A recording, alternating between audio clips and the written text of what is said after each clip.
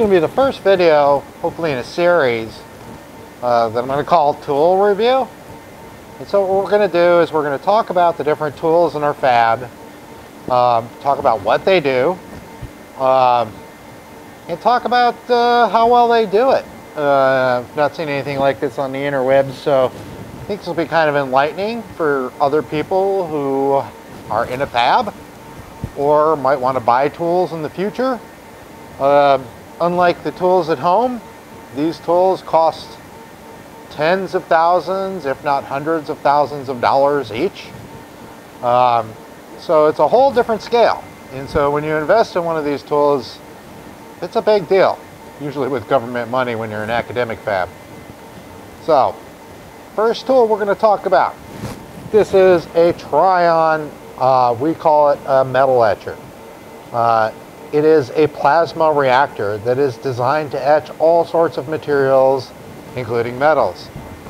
Uh, this is a combination of a reactive ion etcher and um, an inductively coupled etcher.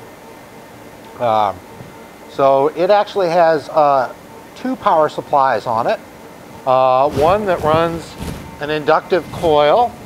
Uh, it's a big loop of highly conductive material, probably silver, that goes around this reactor here. Um, and then there's a second power supply which drives energy between the plasma generated by the top coil um, and the platen where the substrate sits. Um, so by combining these two sources of plasma, you can tune things like, uh, well, first of all, you can get a higher plasma density than in a what we call a capacitively coupled plasma, uh, which means higher etch rates. Um, also, an inductively coupled plasma can get you to lower pressures. And why is that important? Because the lower the pressure, the more directional the ions are going into your substrate. And what that means in terms of etching is that you get an anisot anisop anisotropic etch.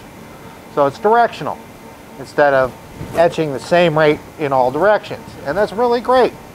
If you have feature sizes that are sub-micron and you want to, on your metal, and you want to uh, etch those lines with the greatest fidelity possible, you can use a plasma. It's much better uh, than a wet etch uh, because wet etch is an isotropic etch and it will sneak underneath your photoresist and uh, decrease your feature size. So that's one of the reasons we bought this tool. Uh, must be a decade ago at this point, um, was to uh, make photomasks. So we would uh, use our laser pattern generator, which is in the next bay over, uh, to pattern a photoresist on chrome. And then for very narrow line widths, this tool in principle would be used to uh, etch the photomask with high fidelity. In other words, you know, if you have a 0.6 micron line width, uh, you get closer to a 0.6 line width, a 0.6 micron line width uh, using the plasma. Okay, so in each of these tool reviews, what I'm going to do, I'm going to try to keep them structured the same way. I'm going to talk about uh, what the tool is, what does it do, what is it designed to do, um, how well does it do it. I'm using my notes. Um, and then I'm going to discuss problems or challenges that the tool seems to have. Um, talk about how uh, good the support is from the company that made the tool. Um, I'm going to tell you how much we paid for it, as far as I know. Then I'm going to tell you, would we buy it again? Um, so I had hoped to start with a tool that I had nothing but good things to say about, but it just kind of worked out with that I was using this tool today and I thought it might be a good idea to uh, review this tool before I talk about some of the things we're using it for, um, specifically today. Uh, this has, I mentioned, the two power supplies. Um, the uh, RIE power supply, I believe, goes to uh, 500 watts. Um, and the ICP power supply goes to about 600 watts. Um, we have a number of gases um, plumbed to this tool, some really nasty stuff. Uh, so this tool takes uh, boron trichloride and uh, chlorine gas those two are used in combination for mostly metal etching. Uh, BCl3 in particular is used uh, in aluminum etch to knock off the native oxide before the chlorine really starts to, uh, to etch the bulk of the aluminum. Um, we also have uh, CF4, uh, carbon tetrafluoride, and SF6, sulfur hexafluoride. Uh, these are your sort of standard um, silicon etches, silicon dioxide. I believe you can etch titanium with the fluorine chemistry. Um, we also have oxygen in here, so you can um, etch organics. You can process, in principle, you could process and etch a metal and uh, then immediately remove uh, the photoresist with an oxygen plasma without even taking it out of the reactor if you had a very well characterized process. Um, we also have CHF3, which I forget what that gas is used for exactly, uh, but it's similar to SF, uh, C, CF4. I'll go over the, some of the recipes in a minute. Um, so this shows the sort of control panel. Let me see if I can zoom in on that. Not sure how well my zoom is going to go.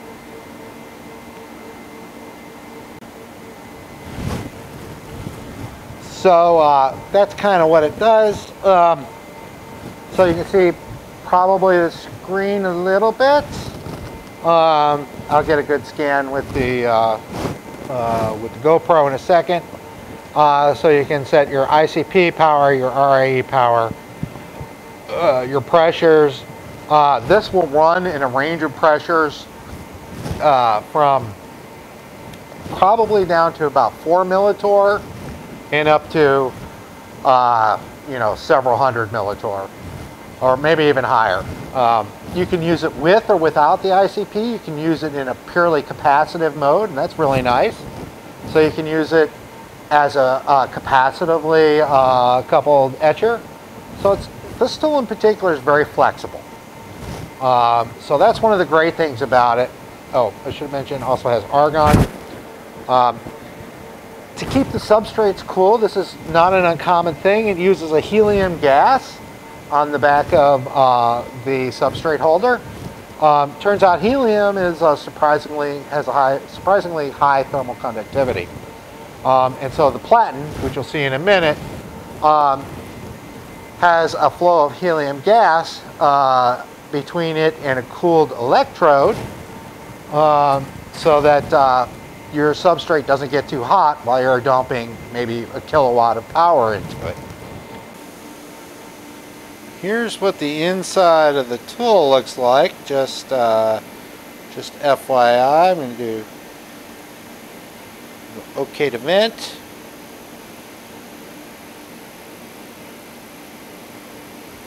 So there's the load lock. You see the arm going in in a second. That's the gate valve opening for the door opening. Arm goes in. Gets our platen, which you might be able to see there. Um, and that, instead of a platen, that can be an 8 inch wafer. Now it is venting the load lock.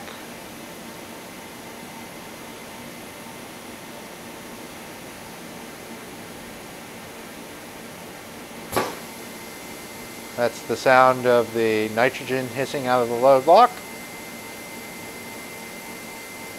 And open sesame. Open. Open. Oh. Okay. There's the platen. You can put a 4 inch wafer in there, or more often we put little die pieces in there. Um, so yeah, that's kind of how the chamber looks and that's how you load it. Alright, so I'm good. I've removed my sample. Closing lid. This is another minor complaint. No mention of a pinch point here. Pretty dangerous actually. Okay to pump load lock, yes. Alright. Okay, so let's just talk about some of the parts. I'm going to film most of this on the GoPro. Uh, so let's see. So let's talk about the parts. Okay, panels off. Guess what? Because we recently had to change the turbo, which is right here. There's a turbo controller there. Nice Edwards uh, turbo pump, which is currently running at 48,000 RPM. And you can see that there's a backing line here um, there is a purge. A lot of these pumps um, that are pumping noxious gases pump a little bit of nitrogen in uh, to prevent the noxious gases from condensing. BCL3 in particular can be a problem. And I could probably talk about this problem forever. Uh, I could talk about this tool ad nauseum actually. So um, this is where the gas, the reactive gases go into the reactor itself. Uh, we had this uh, taped up with heater tape. This is a silicone heater tape. Never buy this stuff. It doesn't last very long and it's very expensive.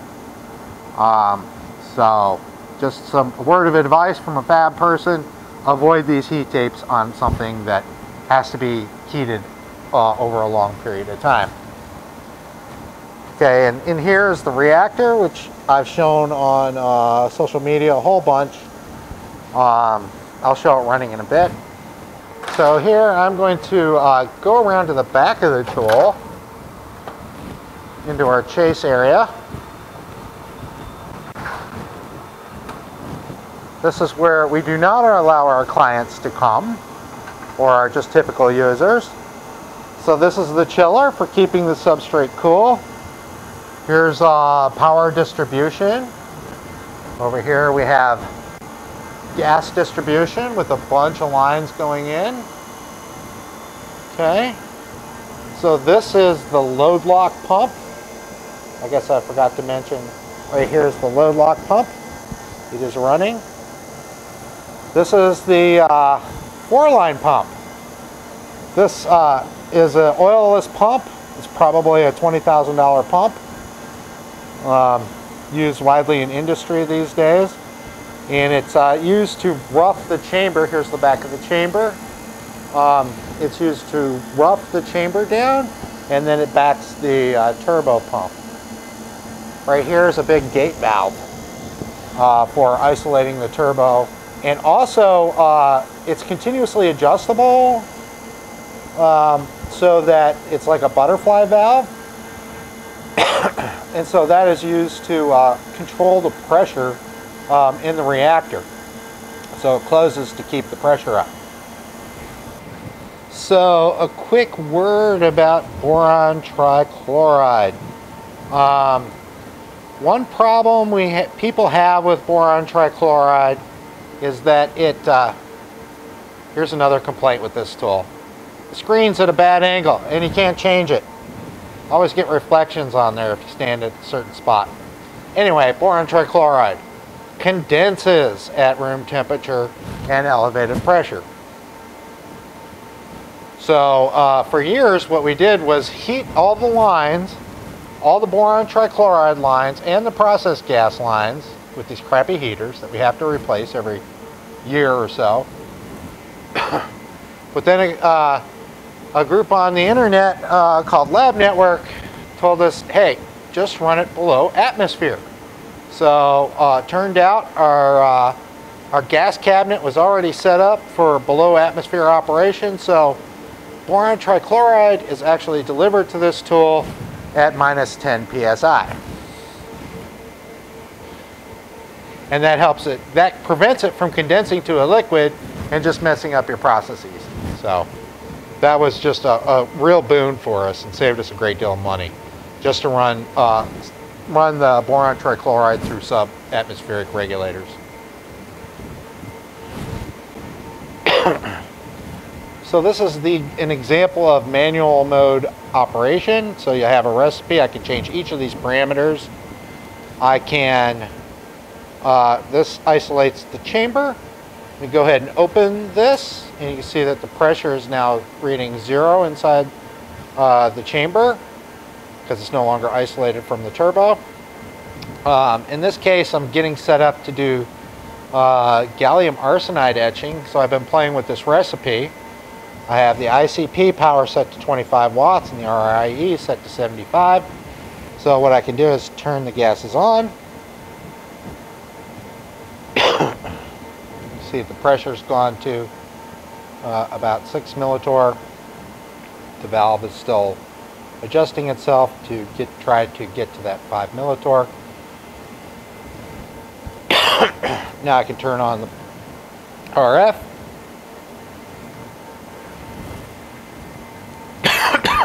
Excuse me, I'm recovering from a cold and I'm not used to talking this much.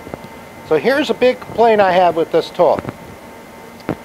Um, first, some of the tuning is, you have to do a lot of manual tuning on uh, reflected RF power to get it to work right. The auto tuner is not great, but the big complaint is that either the measurement circuit for DC bias is uh, somehow flawed or that the tool is not actually uh, maintaining a decent DC bias. Uh, and that's super important.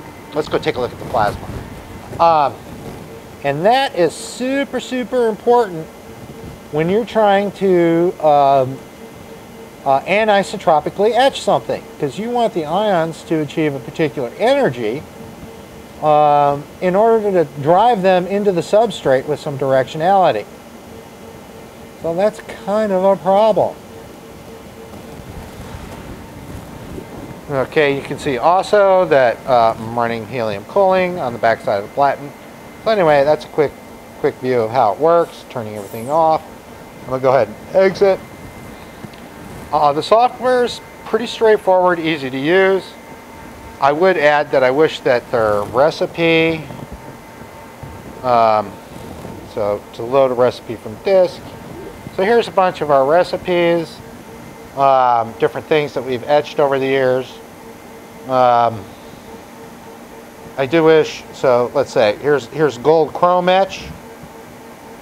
Um, I just wish that they had some somewhere in here to uh, add some comments about the recipe.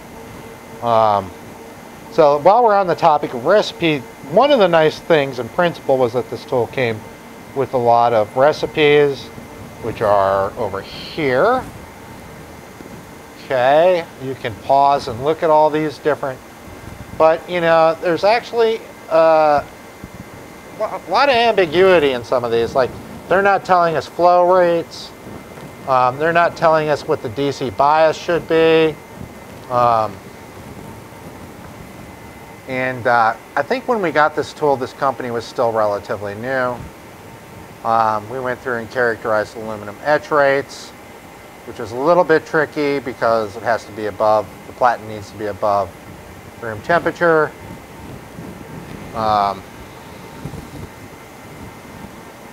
so anyway, I guess that's all I got to say about that. I, I wish the recipes had more detail when they came to us.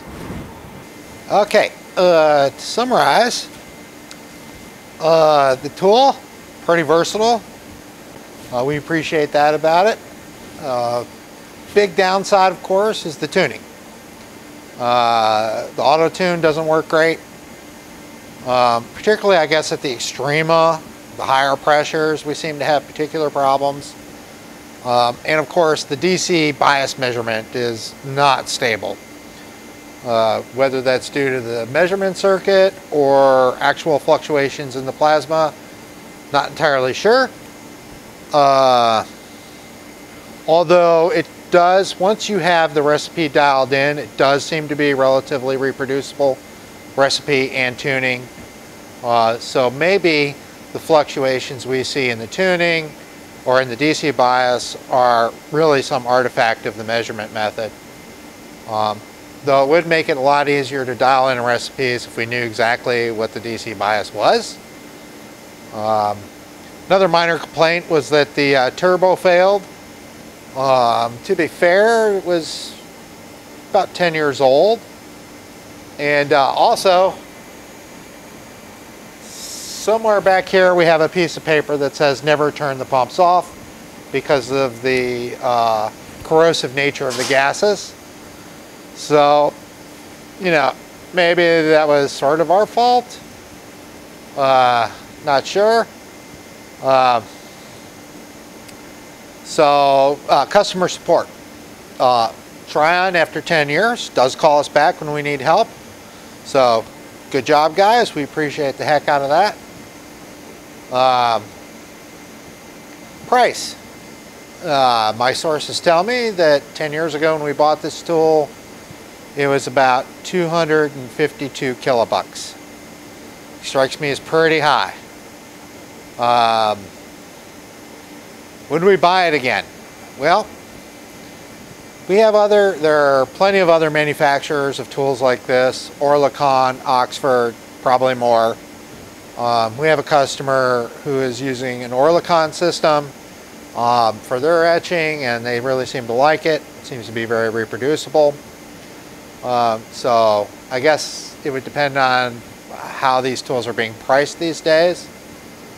Um, I sort of feel like when this tool was bought that uh, it was a deal. Um, probably cheaper than the others. I'm not sure. I wasn't involved in the purchase of the tool. Again, all opinions are my own and do not reflect my uh, employer or anybody else, just my own opinion for what it's worth. Uh, so, um, you know, so I feel like this tool might have been uh, uh, a bit of a deal at the time, but not sure. All right, so I guess that's all I have to say about that. We'll see you next time. Peace.